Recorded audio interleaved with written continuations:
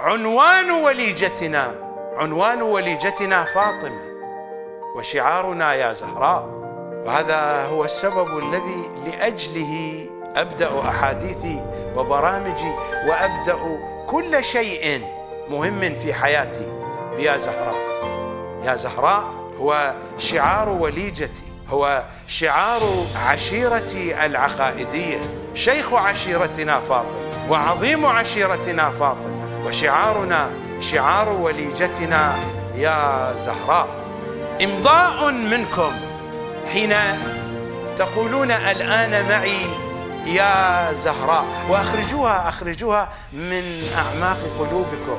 وحاولوا أن تقولوها دائما. إنها تطهر القلوب من كل القذارات الجهنمية. أخرجوها من الأعماق. يا زهراء يا زهراء من الأعماق.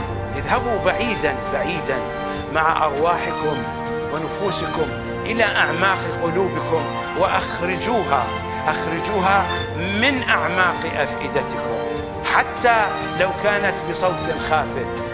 يا زهراء يا زهراء هذا هو شعارنا. إذا كان لكل عشيرة من شعار فشعار عشيرتنا الزهرائية يا زهراء يا زهراء. هذا هو الجزء الثامن من كتاب المفصل في تاريخ العرب قبل الإسلام. موسوعة تاريخية يعرفها الأكاديميون. للدكتور جواد علي. هذه الطبعة هي الطبعة الثانية 1993 ميلادي. تتبع جواد علي موضوع الأشهر الحرم في كل كتب التاريخ المتوفرة. الفصل الثاني والثلاثون بعد المئة الأشهر الحرم. يبدأ من صفحة أربعمية واحد وسبعين وينتهي في صفحة أربعمية وسبعة وثمانين. إنما أشير إلى هذا كي ألفت نظر الذين يريدون أن يتوسعوا في الموضوع. ليس عندي من وقت كي أقرأ لكم من هذا الكتاب أو أن ألخص ما جاء فيه. الكلام فيه طويل وعريض ومتشعب. لكنني أعطيتكم الزبدة في القول في الحلقات المتقدمة وهذه الحلقة. هذا هو الجزء الرابع. أعطيتكم الزبدة بحيث أنكم لو رجعتم إلى هذه المصادر سوف لن تجدوا شيئا كثيرا لم أكن قد ذكرته لكم ولو بنحو مجمل. إلا إذا كنتم تبحثون عن التفاصيل الصغيرة والجزئيات الدقيقة. على أي حال جواد علي في الجزء الثامن من كتابه المفصل من صفحة 471 إلى صفحة 488 يتحدث عن تأريخ الأشهر الحرم عند العرب في العصر الجاهلي. ومن صفحة 488 إلى صفحة خمسمية وثمانية وهو الفصل الثالث والثلاثون بعد المئة. يتحدث عن النسيء. عنوان هذا الفصل النسيء.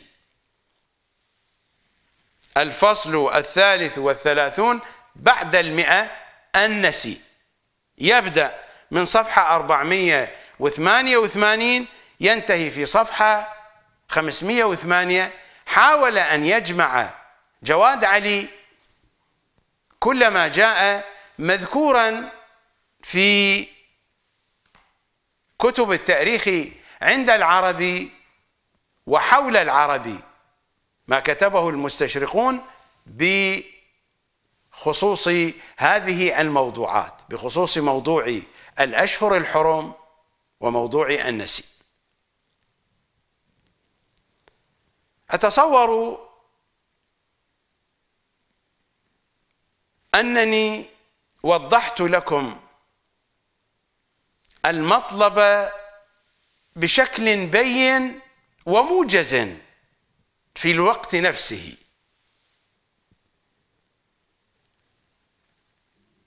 أنا بحاجة كي أحدثكم عن بعض الوقائع الواضحة في تاريخها وجريانها. لأن الذين يتحدثون في أيامنا هذه عن أن شهر رمضان يأتي في الخريف بعد انقضاء الصيف يدعون من أن رسول الله صلى الله عليه وآله ما صام في الصيف أساسا لماذا؟ لأن شهر رمضان يكون ثابتا في موعده ما بين الشهر التاسع والعاشر وهناك من وضع موعدا آخر. ولكن أكثر الذين يتحدثون الآن عن شهر رمضان الثابت بحسب المواءمة مع السنة الشمسية يقولون من أن هلاله يكون طالعا ما بين أواخر الشهر التاسع وبدايات الشهر العاشر من شهور السنة الشمسية. هناك حوادث واضحة لدينا. أنا أحدثكم في ضوء الثقافة الشيعية. في ضوء ثقافة العترة.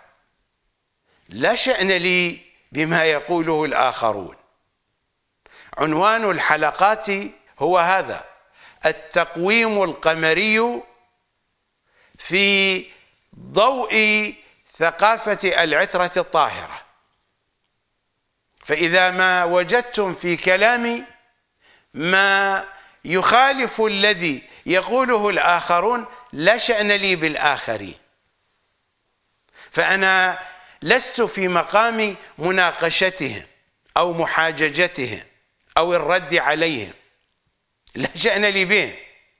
إنما أريد أن أضع الحقائق بين أيديكم. أنتم الذين تريدون فقه العترة الطاهرة. تريدون ثقافة العترة الطاهرة. أضع الحقائق بين أيديكم من أصولها الأصيلة من منابعها الصافية.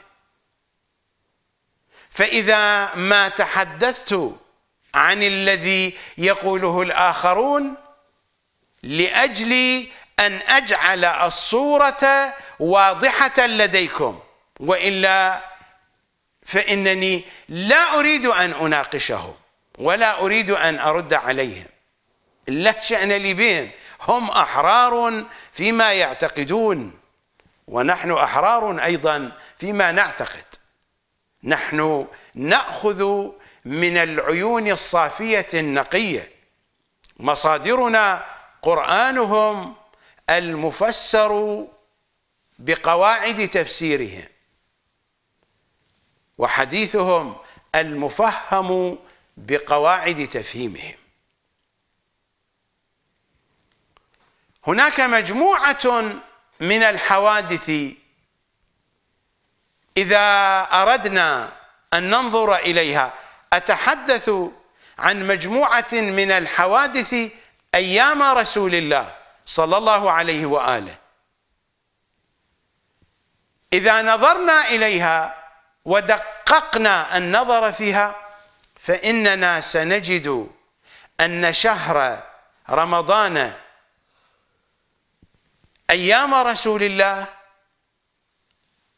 كان في الصيف وكان النبي والمسلمون يصومون في الصيف. فلنبدأ من حدث واضح لدينا. الحدث الواضح لدينا واقعة بدر. واقعة بدر. نعرفها ويعرفها الآخرون من أنها حدثت في شهر رمضان.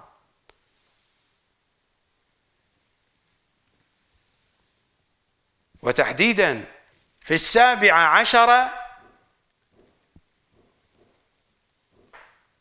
من شهر رمضان. في اليوم السابع عشر من شهر رمضان حدثت واقعة بدر. نعود إلى القرآن.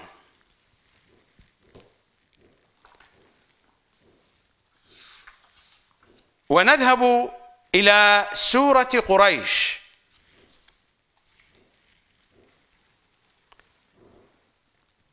وهي من السور القصار كما تعرفون. سورة مكية من السور التي نزلت في العصر المكي. بعد البسملة في الآية الأولى والثانية. لإلاف قريش إلافهم رحلة الشتاء والصيف. الحديث عن رحلتين لقريش وهما رحلتان تجاريتان. رحلة صيفية ورحلة شتائية. رحلتهم الصيفية إلى الشام ورحلتهم الشتائية إلى اليمن. متى تبدأ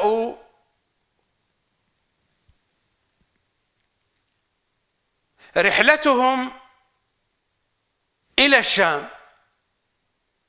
تبدأ عند نهايات الربيع وبدايات الصيف. يتوجهون إلى الشام لسببين. السبب الأول فإن الصيف في الشام بالنسبة لهم يكون جوا جميلا لأن الشتاء في الشام يكون باردا. وبلاد الشام من البلاد التي تنزل فيها الثلوج في فصل الشتاء. وإلى يومنا هذا. ففصل الصيف بالنسبة لأهل الحجاز يكون جميلا. في بلاد الشام. هذا الأمر الأول. الأمر الثاني البضائع التي يحتاجونها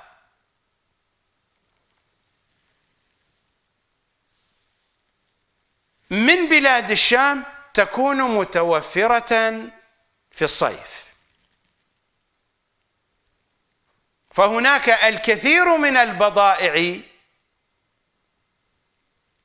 التي تتوفر في الشام وفي أسواقها تكون مبذولة في فصل الصيف.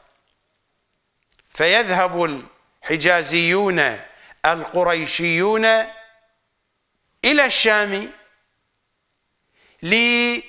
لمواءمة الصيف الشامي لهم من جهة ولأن البضائع التي يحتاجونها تكون متوفرة وموجودة في أسواق الشام في فصل الصيف. بينما في الشتاء يذهبون إلى اليمن. يذهبون إلى اليمن لأن الشتاء في اليمن ليس باردا. الأجواء معتدلة. أو أنها قريبة من الاعتدال في اليمن على طول السنة. لماذا كان العرب يصفون اليمن باليمن السعيد؟ لماذا؟ لأن الجو في اليمن على طول أيام السنة معتدل أو يكون قريبا من الاعتدال. فيذهب الحجازيون إلى اليمن في الشتاء لأن اليمن في الشتاء ليس باردا ليس هناك من برودة قاسية وشديدة في اليمن كما هو الحال في الشام.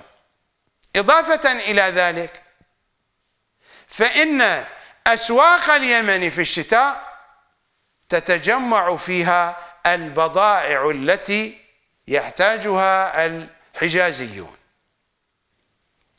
بضائع الشام تختلف عن بضائع اليمن. بضائع اليمن هي نتاج يمني ونتاج أفريقي. يجلب إلى اليمن من الحبشة وغيرها من بلاد أفريقيا. وكذلك البضائع الهندية.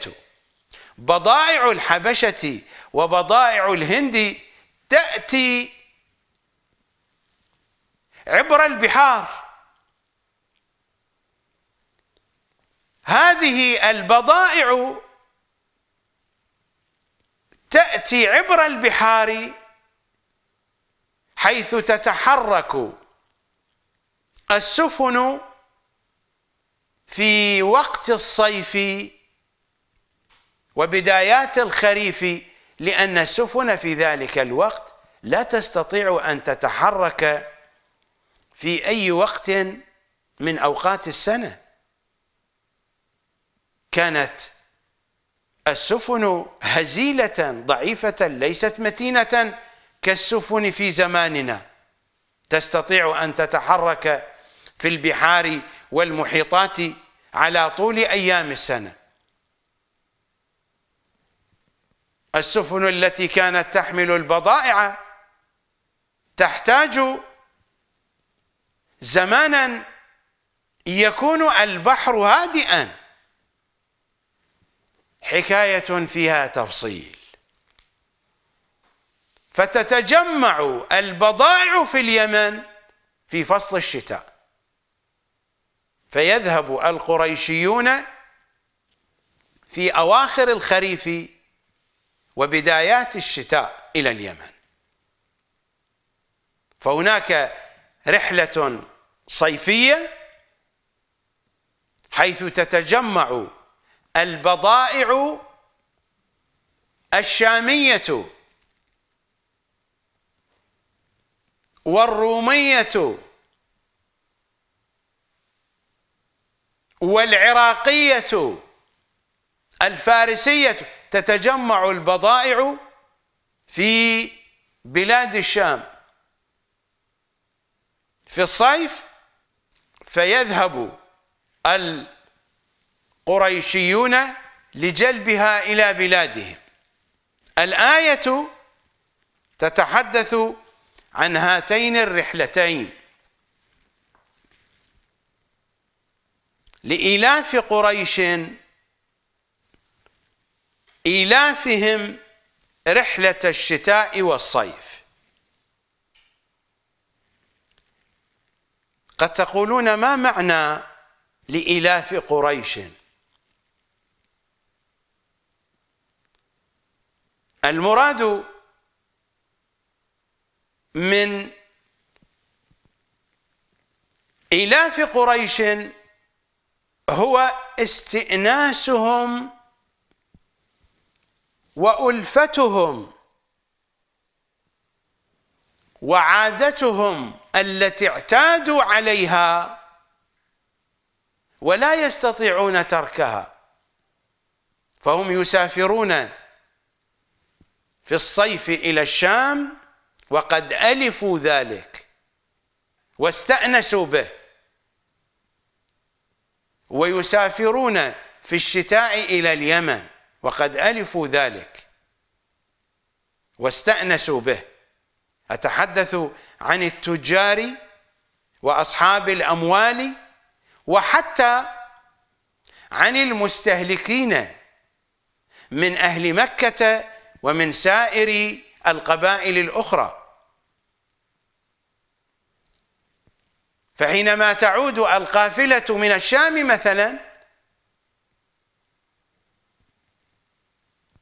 وتفتح الأسواق في مكة تأتي القبائل الأخرى كي تتسوق من هذه الأسواق كي تتبضع. هنا جار ومجرور. لإلاف قريش. الجار والمجرور حدثتكم في الحلقة الماضية. إنما النسيء زيادة في الكفر.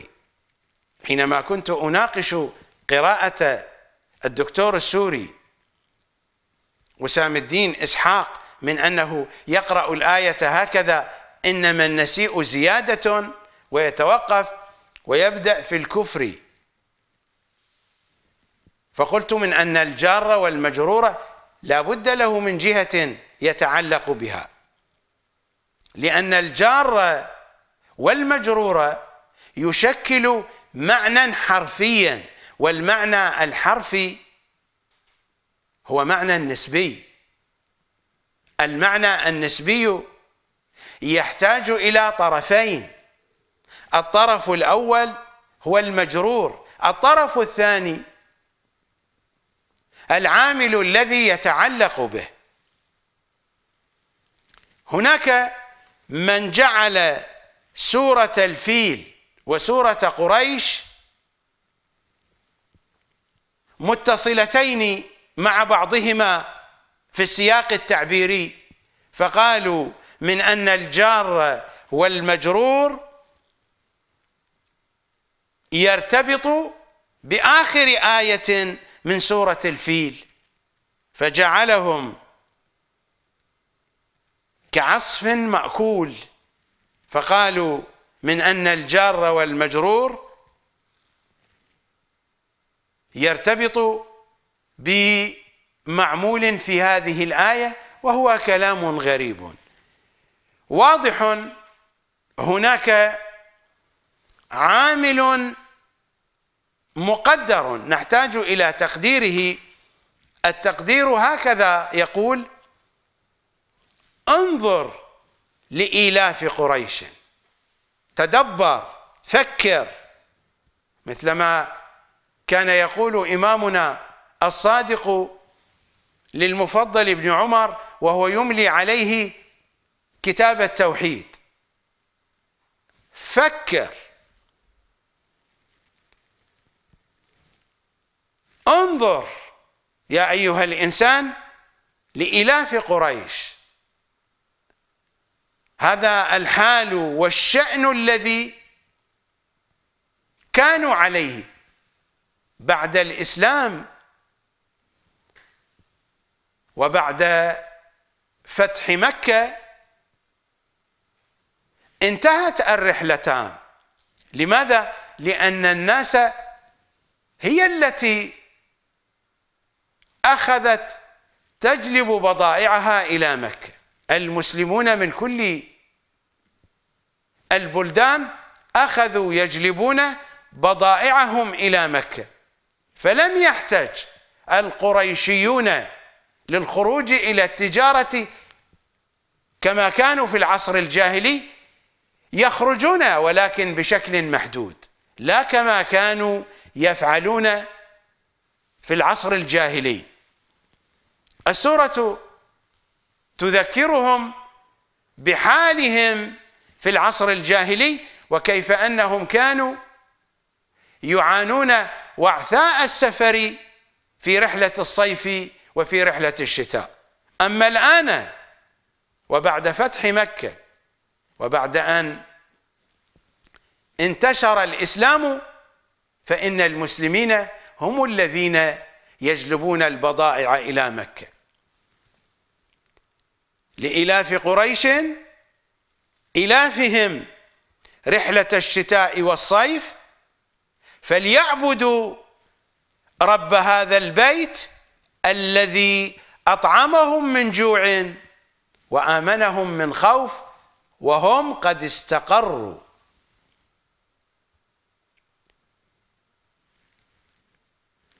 الذي أطعمهم من جوع الحديث عن الجوع هنا الحديث عن الاقتصاد. وآمنهم من خوف إنه الخوف من مخاطر السفر.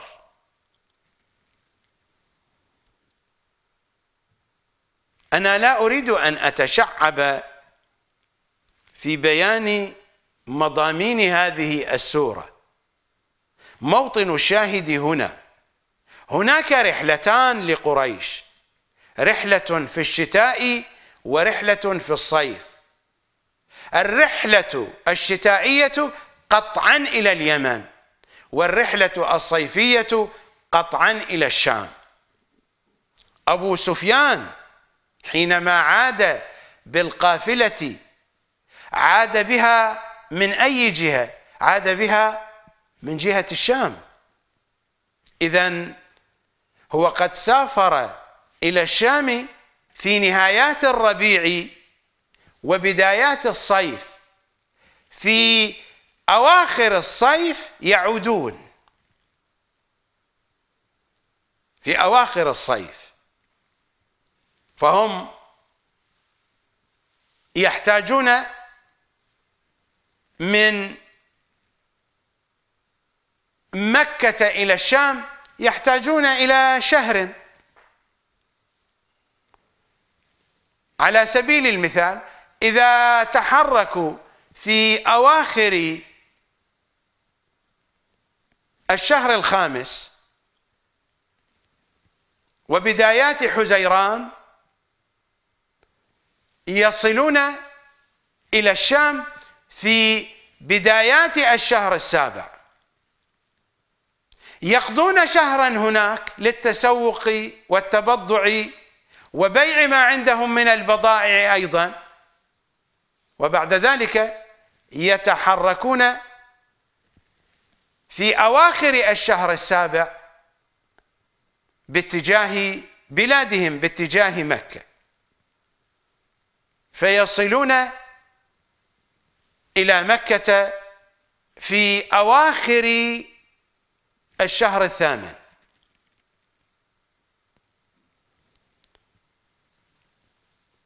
بدر وقعت في شهر رمضان. هذا يعني أن شهر رمضان إما أن قسما منه قد وقع في الشهر الثامن وقسما وقع في الشهر التاسع.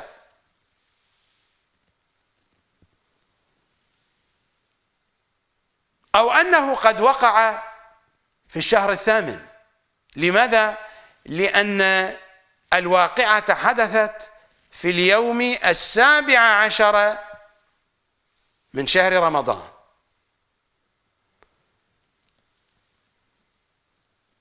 وليس هناك من إشارات تشير إلى اعتدال الجو. الإشارات الموجودة عندنا تشير إلى ارتفاع درجة الحرارة. قد تقولون كيف ذلك؟ سنذهب إلى سورة الأنفال.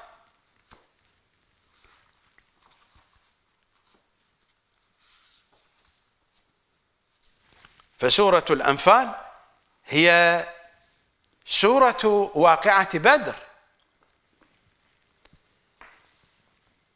معروف عندنا في رواياتنا وحتى في روايات المخالفين في كتب تأريخهم في كتب سيرهم في كتب أحاديثهم أن المسلمين خرجوا من المدينة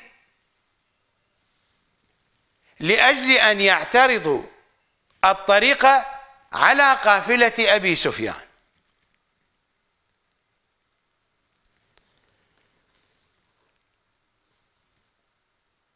وإذ يعدكم الله إنني أقرأ من الآية السابعة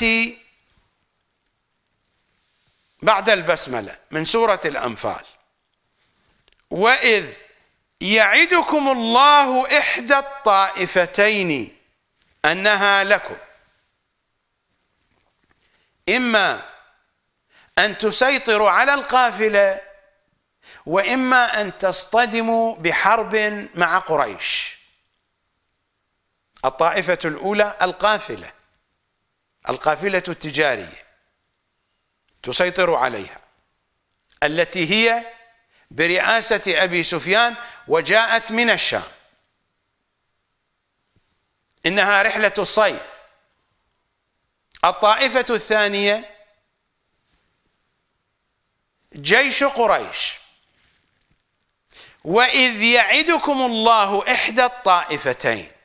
يعني إما أن تستولوا على القافلة أو أن تنتصروا على قريش.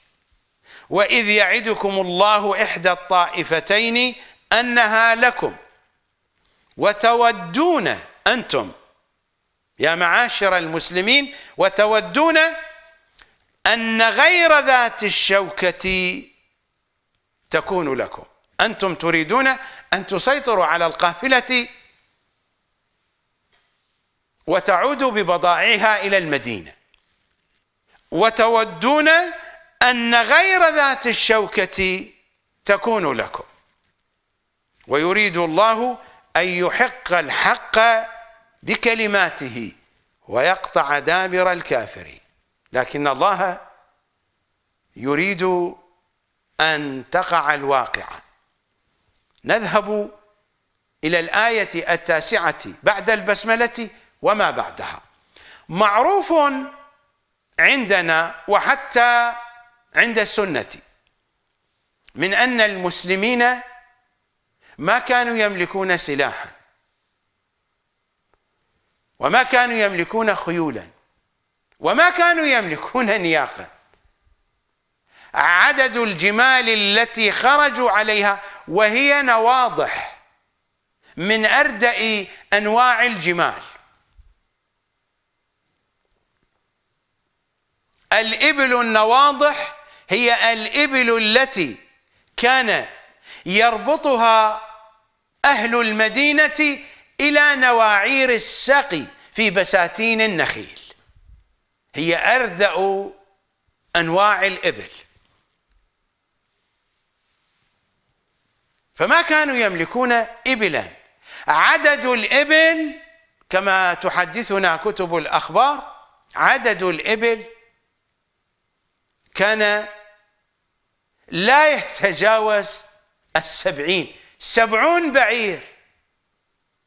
وكانوا يترادفون عليه. النبي وأمير المؤمنين ومرثد ابن أبي مرثد الغنوي كانوا يترادفون على بعير واحد. النبي والأمير ومرثد ابن أبي مرثد الغنوي كانوا يترادفون على بعير واحد. فما كانوا يملكون جمالا ونياقا بعدد كاف. وما كانوا يملكون من الخيول إلا فرسين. فرس عند الزبير بن العوام وفرس عند المقداد بن الأسود. هذا هو المعروف في كتب التاريخ والحديث والسير. وما كانوا يملكون من السيوف إلا ثمانية. وفي أكثر الأخبار عددا فإن عدد سيوفهم اثنا عشر سيفا. لكن أكثر الأخبار تقول من أن عدد السيوف عندهم كان ثمانية. قد خرجوا يحملون العصي ويحملون جريد النخل وخرجوا حفاة.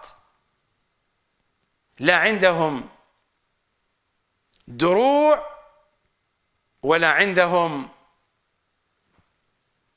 من شيء يتقون به من الدرقة مثلا أو البيضة التي توضع على الرأس.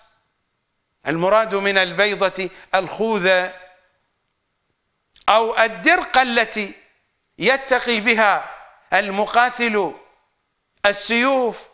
ما كانوا يملكون رماحا. هذا الذي تشاهدونه في الأفلام السينمائية. كفيلم الرسالة مثلا. هناك أقواس وسهام ورماح وخيول هذا لا وجود له في الحقيقة. كانوا عفاة. ما كانوا يملكون ثيابا. كانوا يشدون المآزر على أبدانهم فقط يتزرون بالمآزر. ويحملون جريد النخل.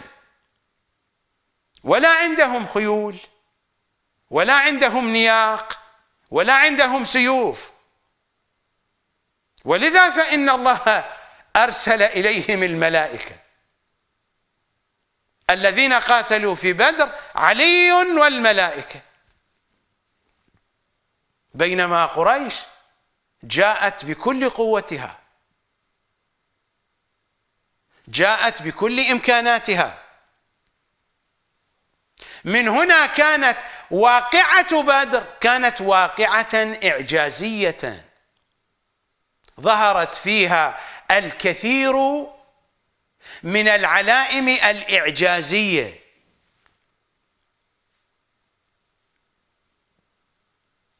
إذ تستغيثون ربكم في التاسعة بعد البسملة من الأنفال. إذ تستغيثون ربكم. لماذا؟ لأنهم ما كانوا يملكون سلاحا. خرجوا بجريد النخل. إذ تستغيثون ربكم. فاستجاب لكم. أني ممدكم. بألف من الملائكة مردفين. وكان المسلمون ينظرون إلى الملائكة. وما جعله الله إلا بشرى ولتطمئن به قلوبكم. وما النصر إلا من عند الله. لأن المسلمين لما رأوا قوة قريش أصابهم اليأس من النصر. بماذا يقاتلون وهم حفاة لا يملكون إلا جريد النخل؟ وهؤلاء جاءوا بعدد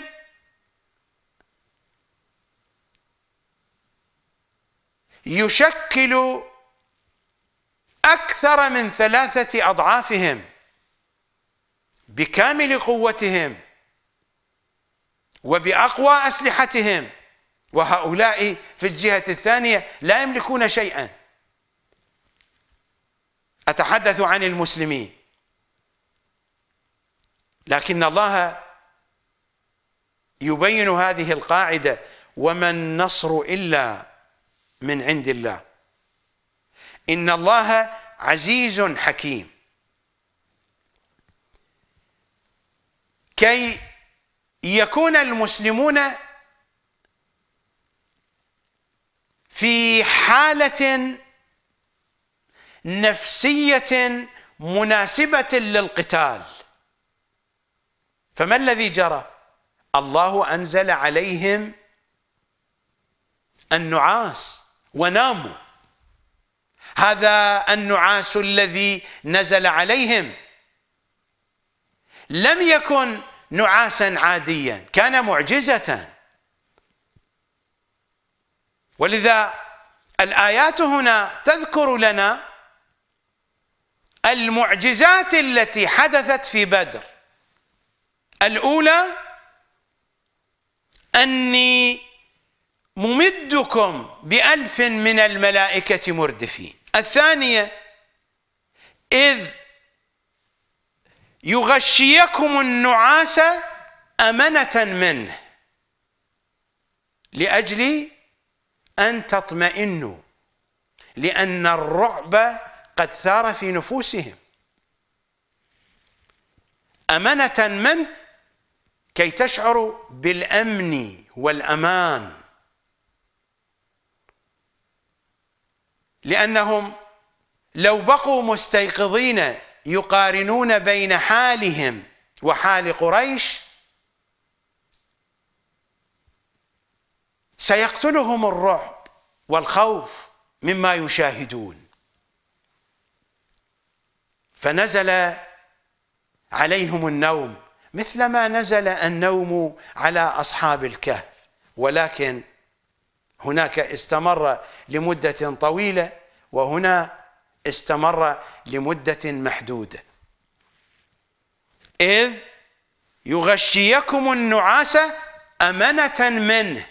فهذا نعاس ما هو باختيارهم. ولما ناموا.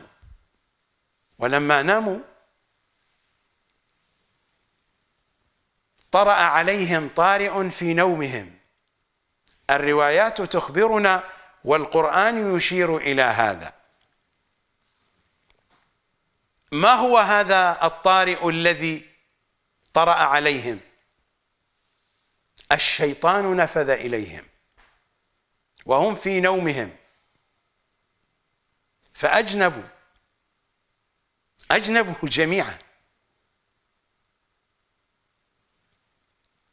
لأن الشيطان أراد أن يعكر مزاجهم. فهذا النائم إذا ما أجنب في نومه واستيقظ وهو يعاني من نجاسة حدثية وخبثية وهو في ذلك الحال في حال ضعف ومواجهة لعدو قوي. الشيطان اخترقهم هنا. ولكن المعجزة الثالثة جاءت.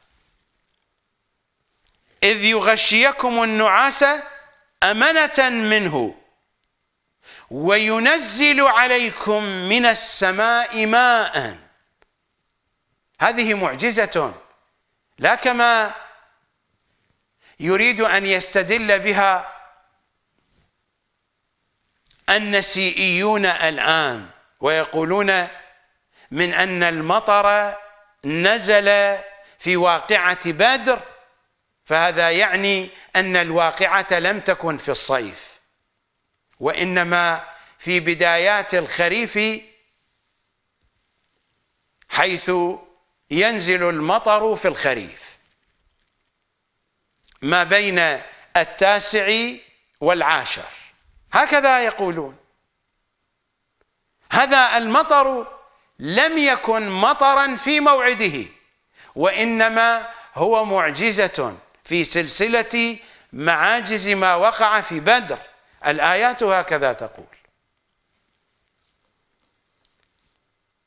إذ يغشيكم النعاس أمنة منه وينزل عليكم من السماء ماء لماذا؟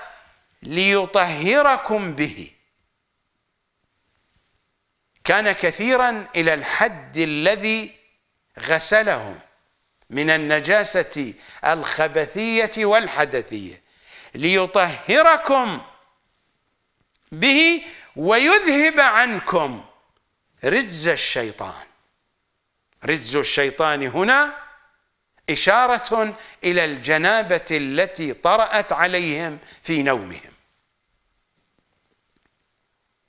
هذه التفاصيل نحن نأخذها من الأحاديث التفسيرية.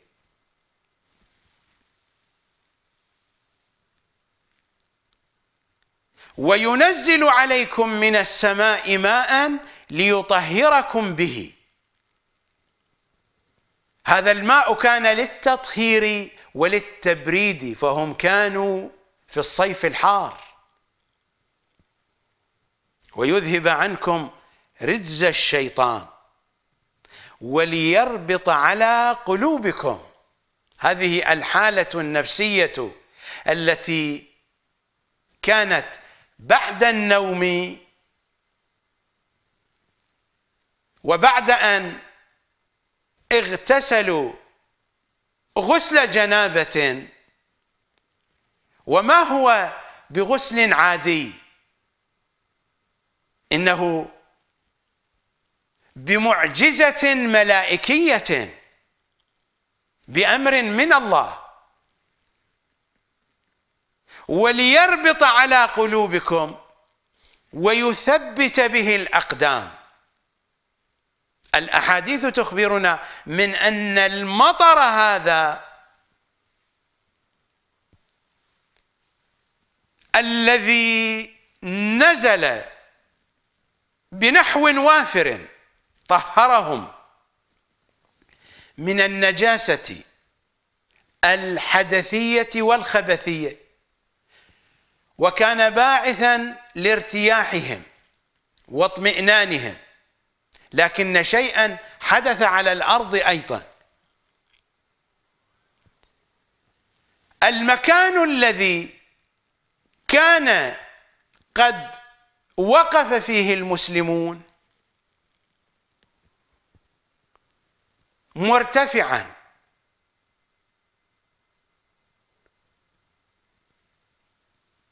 والمكان الذي عسكرت فيه قريش كان منخفضا. فكان الماء يمر على مكان المسلمين ويجري باتجاه مكان قريش. فالرمال تجمدت.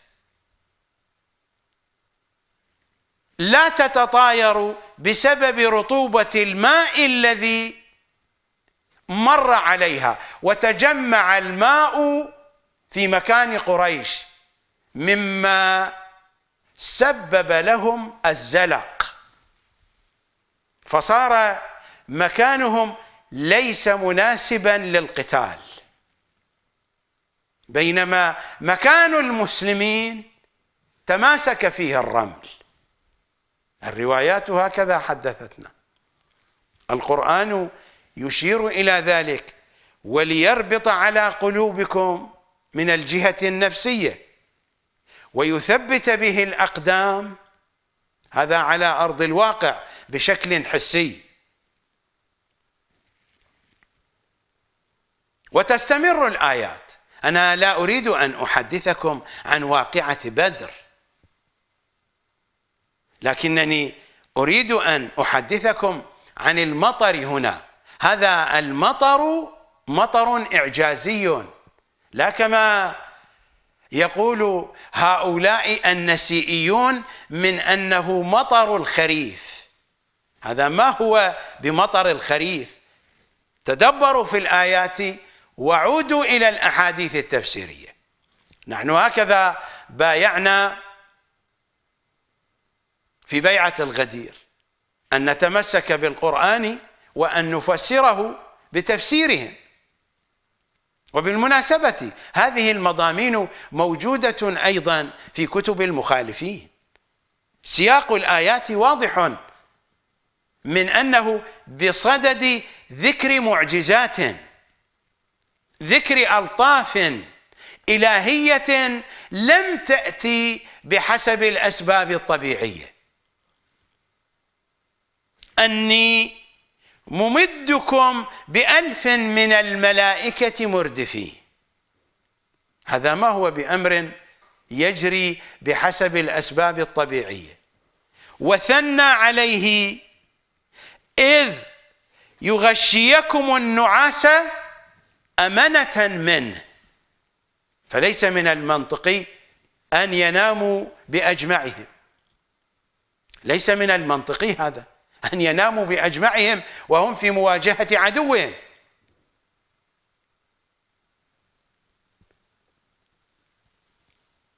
حتى في تسلط الشيطان عليهم هو أمر في ظاهره سيء. لكن عملية الجنابة في مثل هذه الحالة تكون بمثابة صدمة كهربائية محدودة كي تغير في معطيات الجهاز العصبي عند الإنسان. بمثابة صدمة كهربائية ولما جاء المطر الإعجازي بنحو غسلهم خبثيا وحدثيا. وأدى ذلك أيضا بإعجاز إلهي أن تكون قلوبهم واثقة من الناصر. وليربط على قلوبكم ويثبت به الأقدام ما جرى على الأرض حينما صار الرمل تحت أقدامهم متماسكا بينما صار الرمل لزجا وصارت الأرض زلقا في الجهة الثانية. وكان النصر بيد علي وعلى يد علي صلوات الله وسلامه عليه.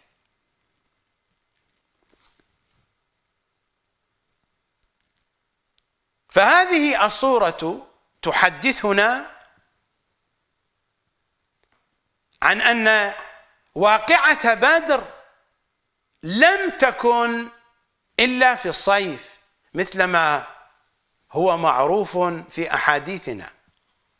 والسياق التاريخي لحركة القافلة التجارية القريشية من الشام إلى مكة إذا أردنا أن نتصورها بنحو تاريخي وواقعي ومنطقي مثل ما شرحته لكم نحن لا نعرف متى تحركوا ومتى قدموا. لكن القرائن التاريخية وما حدثنا التاريخ عن واقع تلك الأيام هو الذي صورته لكم.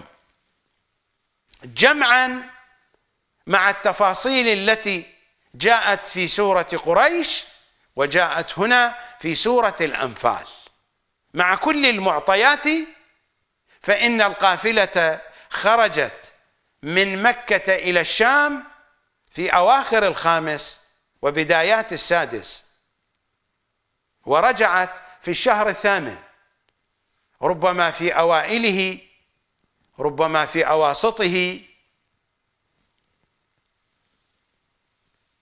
الاحتمال الكبير أن شهر رمضان بحسب القرائن كان في الشهر الثامن. وحتى إذا أردنا أن نترك هذا الاحتمال ونقول من أن شهر رمضان في تلك السنة كان في الشهر التاسع فإنه في السنة التي بعدها سيزحف إلى الشهر الثامن. قد يقول قائل يمكن أن يزحف إلى الشهر العاشر.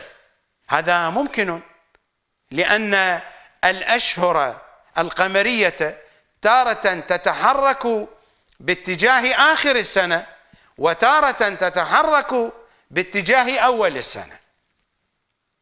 فشهر رمضان تارة يتحرك باتجاه الخريف والشتاء. سينتقل من التاسع إلى العاشر وهكذا. وتارة ينتقل من التاسع إلى الثامن باتجاه أول السنة وإلى السابع وهكذا.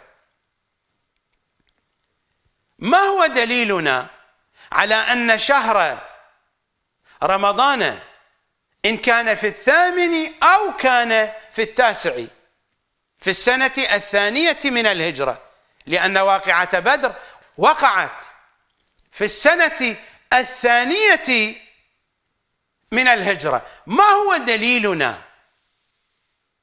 على أن شهر رمضان كان يتحرك باتجاه أول السنة فهو في آخر الصيف ويتحرك باتجاه الصيف؟ باتجاه أول السنة. دليلنا ما جاء في سورة التوبة بخصوص واقعة تبوك. واقعة تبوك معروفة عند الشيعة والسنة وقعت في السنة التاسعة. فماذا نقرأ في الآية الحادية والثمانين من سورة التوبة؟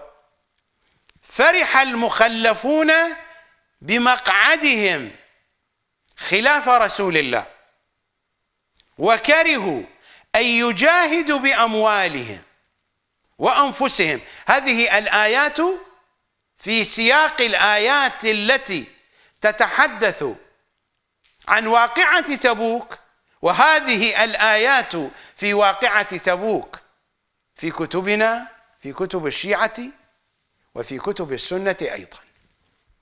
هذا أمر معروف. هذه الآيات بخصوص واقعة تبوك. أقرأ الآية الحادية والثمانين من سورة التوبة. فرح المخلفون بمقعدهم. خلاف رسول الله وكرهوا أن يجاهدوا بأموالهم وأنفسهم في سبيل الله وقالوا لا تنفروا في الحر. فواقعة تبوك وقعت في الصيف وهي في السنة التاسعة من الهجرة. وقالوا لا تنفروا في الحر. قل نار جهنم أشد حرا لو كانوا يفقهون. هذه التعابير تشير إلى أن الجو كان شديد الحرارة حينما خرج النبي مع المسلمين إلى تبوك. خرجوا من المدينة.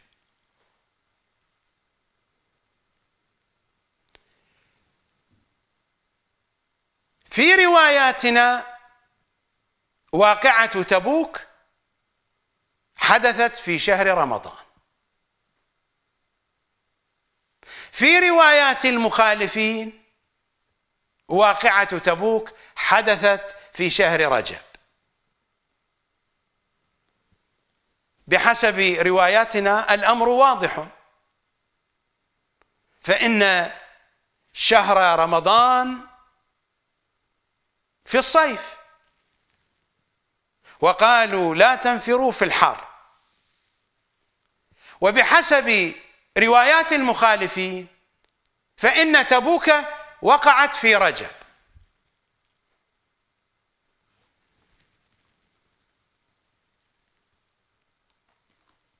وشهر رجب قريب من شهر رمضان.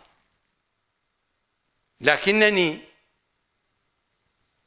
أريد أن أشير إلى معلومة ثالثة ومعلومة رابعة ومعلومة خامسة.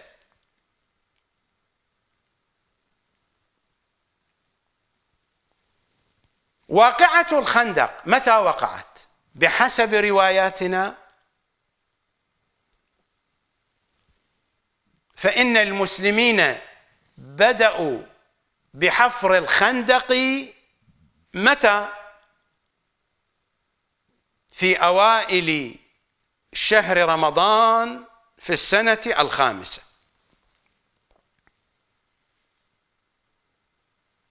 في أوائل شهر رمضان في السنة الخامسة. وكان الجو حارا. قد تجدون في كتب التاريخ حديثا عن برودة الجو. سأبين لكم. سأبين لكم. هذا الحديث صحيح. هناك جو بارد لكن القضية قضية إعجازية. القرآن تحدث عنها أيضا. المسلمون بدأوا يحفرون الخندق في بدايات شهر رمضان. في السنة الخامسة للهجرة. واقعة بدر متى حدثت؟ حدثت في السنة الثانية للهجرة. فإذا كانت واقعة الخندق حدثت في شهر رمضان هذا يعني أن شهر رمضان يتحرك باتجاه الصيف. من آخر الصيف إلى بداياته باتجاه أول السنة.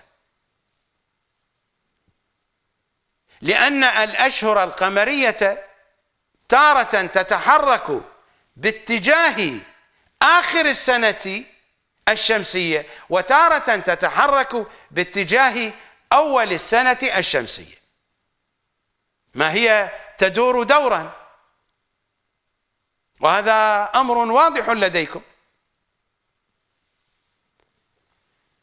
الدليل على أن شهر رمضان الذي وقعت فيه واقعة بدر يتحرك باتجاه أول السنة الشمسية أن واقعة الخندق بدأت في شهر رمضان في السنة الخامسة للهجرة. فلو كان شهر رمضان الذي وقعت فيه بدر إن كان في آخر الثامن مثل ما أزعم أنا بحسب القرائن أو كان في التاسع أو بين التاسع والعاشر مثل ما يقول النسيئيون فلا بد أن يزحف باتجاه الشتاء. فستكون الخندق في السنة الخامسة في الشتاء وليس في الصيف. لكن حفر الخندق كان في شهر رمضان. قريش حاصرت المدينة لمدة زمانية. ربما تصل إلى أربعين يوما أو دون ذلك. المعركة انتهت في شهر شوال. أمير المؤمنين قتل ابن ود في شهر شوال. وكانت المعجزة التي جعلت قريشا تعود فارة إلى مكة وكذلك القبائل التي كانت معها فروا من ساحة المعركة لماذا؟ القرآن هو الذي يقول في سورة الأحزاب في الآية التاسعة بعد البسملة. يا أيها الذين آمنوا يا أيها الذين آمنوا اذكروا نعمة الله عليكم. إذ جاءتكم جنود. هؤلاء هم جيش الأحزاب. إذ جاءتكم جنود فأرسلنا عليهم ريحا.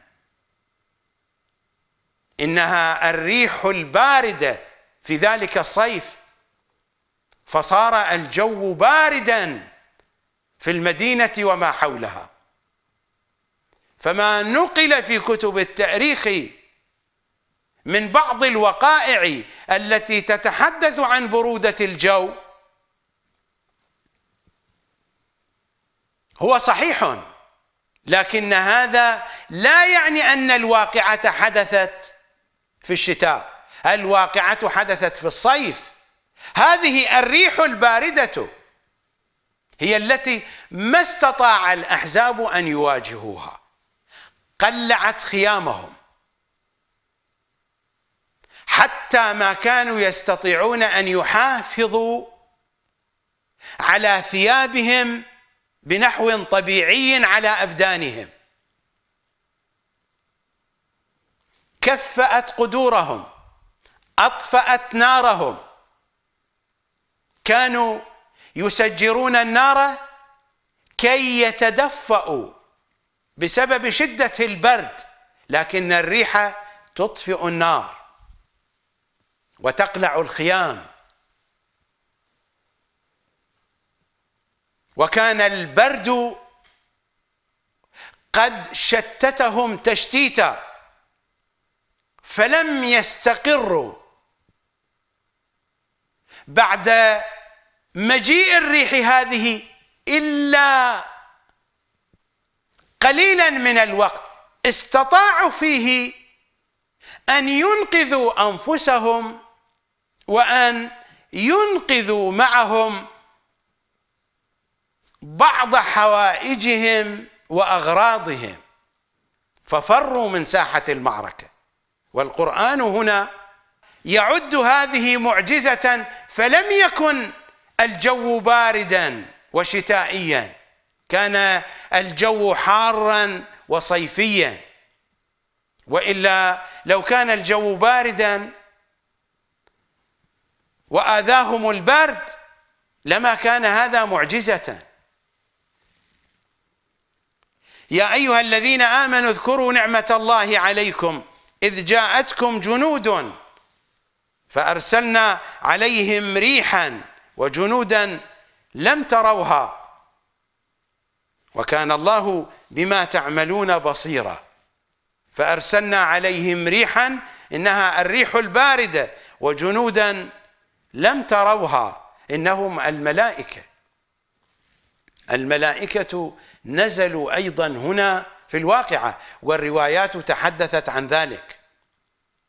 من هنا نحن لا نستطيع أن نفهم القرآن من دون أحاديث أهل البيت. صلوات الله وسلامه عليهم أجمعين.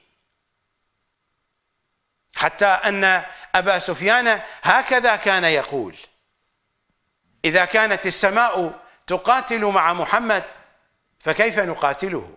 وفر أبو سفيان وفر الذين معه. فكيف نقاتله إذا كانت السماء يتحدث عن هذه الريح العاصفة الباردة في ذلك الصيف الحار؟ وإلا لو كان الجو شتائيا لما كان يقول هذا الكلام. إذا كانت السماء تقاتل مع محمد؟ فماذا نصنع لمحمد وكيف نقاتله؟ ففروا وهربوا من ساحة المعركة. والآية هنا تتحدث عن هذا فأرسلنا عليهم ريحا وجنودا لم تروها وكان الله بما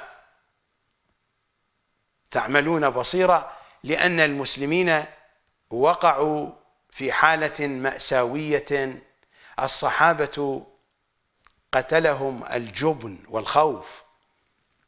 إذ جاءوكم من فوقكم ومن أسفل منكم وإذ زاغت الأبصار وبلغت القلوب الحناجر. وتظنون بالله الظنون هنالك ابتلي المؤمنون وزلزلوا زلزالا شديدا. إلى آخر الآيات التي جاءت في سورة الأحزاب. واقعة أخرى. فتح مكة. فتح مكة حدث في العشرين من شهر رمضان في السنة الثامنة للهجرة. إذا شهر رمضان يتحرك باتجاه الصيف. حتى إن لم يكن في واقعة بدر في الشهر الثامن وكان في الشهر التاسع. كما يقول النسيئيون الآن فإذا كانت واقعة الخندق في السنة الخامسة للهجرة وقعت في شهر رمضان وفتح مكة أيضا في السنة الثامنة للهجرة وقع في شهر رمضان في العشرين من شهر رمضان وجاءت تبوك في السنة التاسعة وقد وقعت في الحر الشديد. بحسب رواياتنا في شهر رمضان بحسب رواياتهم في شهر رجب. وما شهر رجب؟ ببعيد عن شهر رمضان. فهذا يعني إذا وقعت تبوك في الحر الشديد فإما وقعت في بدايات الشهر السابع أو في أواخر الشهر السادس. فهذا يعني أن شهر رمضان قد تحرك باتجاه الشهر الخامس. وهذا هو الذي أتحدث عنه من أن شهر رمضان في زمان رسول الله كان النبي والمسلمون يصومونه في الصيف في كل السنوات التي عاشها رسول الله في المدينة. لا كما يقول النسيئيون من أن رسول الله ما صام شهر رمضان في فصل الصيف. أكثر من ذلك. بيعة الغدير متى حدثت؟ بيعة الغدير حدثت في السنة العاشرة في شهر ذي الحجة. وكان اليوم شديد الحرارة. هذا أمر مفروغ منه بالنسبة إلينا من أن واقعة غدير خم وقعت في يوم حار جدا. أقرأ عليكم من إقبال الأعمال للسيد ابن طاووس. المتوفى سنة 664 للهجرة وطبعة هذه طبعة مؤسسة الأعلمي بيروت لبنان أخذ هذه اللقطة. صفحة 766 في سياق أحاديث وروايات بيعة الغدير وهذا الأمر موجود في كتبنا وفي كتبهم. فهبط جبرائيل فقال اقرأ في كتبهم في كتب المخالفين. فهبط جبرائيل فقال اقرأ. يا أيها الرسول بلغ ما أنزل إليك من ربك. إنها الآية السابعة والستون بعد البسملة من سورة المائدة. وقد بلغنا غدير خم. في وقت لو طرح اللحم فيه على الأرض لانشوى وقد بلغنا غدير خم. في وقت لو طرح اللحم فيه على الأرض لانشوى السيد جعفر مرتضى العاملي في الجزء الحادي والثلاثين من كتابه الصحيح من سيرة النبي الأعظم طبعة المركز الإسلامي للدراسات. في الصفحة السبعين بعد المئتين ينقل عن مستدرك الحاكم إنه الحاكم النيشابوري. وعن المعجم الكبير للطبراني. هذه كتب سنية معروفة وعن العديد من المصادر. عن زيد بن أرقم وهو يتحدث عن يوم الغدير. يقول ما أتى علينا يوم كان أشد حرا منه.